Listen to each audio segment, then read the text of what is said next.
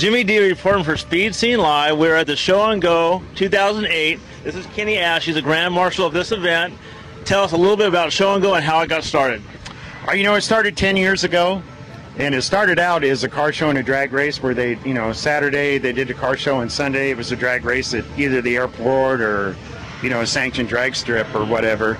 And, uh, you know, I've done both ends of it. The car I have, though, is, is primarily the show car part of it.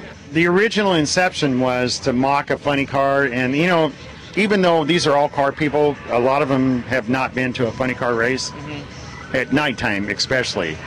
And uh, funny cars at night, they have, you know, the nitro flames coming out of the zoomies and stuff, and it's just just an awesome appearance, you know, after dark. And that's what I was trying to mock was that. And it actually worked out better than I ever thought it could have. Yeah. Yeah, it runs really well. You see this car come down the street, the people just come to the street and watch and wait for this car to come out and pass them and, and hoop and holler and they want more flame, more noise, and they just go wild about it. What's the turnout for this weekend compared to years past? Oh, you know what? They limit it at a thousand cars just because of the size of the cruise route and stuff. The you know the parameters of downtown, what the city would allow. So, and actually, they maxed out, you know, a couple days before the event. A lot of car shows, you can actually enter the day of the car show. Yeah. And this one actually sold out a couple days before.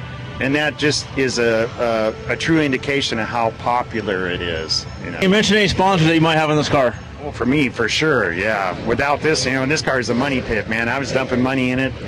You know, it goes through motors, it goes through trans, rear ends, everything, everything. It goes through everything. But, you know, I, I hooked up with Wayne's Engines here in Riverside, and they have just, they're helped me out greatly. You know, so I have, you know, actually it's just mostly routine maintenance now. And routine maintenance means you have to tear the motor down, put bearings and maybe a crank and that stuff. But yeah. I, you know, I've been running on the same block for like five years, so oh, you know, a lot better. Yeah. Yep. Does the, does the methanol does it affect the engine at all? I mean, gasoline, methanol, nitro, they all have power increases, but the alcohol is clean burning. It, it doesn't put any wear on the engine. Oh yeah, alcohol is actually a solvent. It's not a. It's it's you know they use it as a solvent.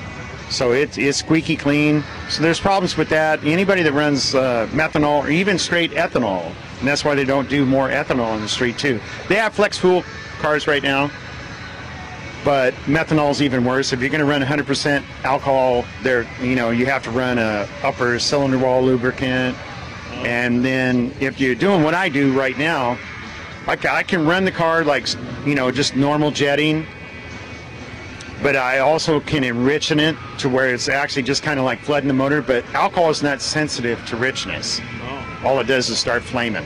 Okay. And that's what you know. And that was the accident part of this car. You know, it it I, I didn't know it was going to do it. You know, when I put it together. Uh, besides Wayne's, do you have any other sponsors you'd like to hit?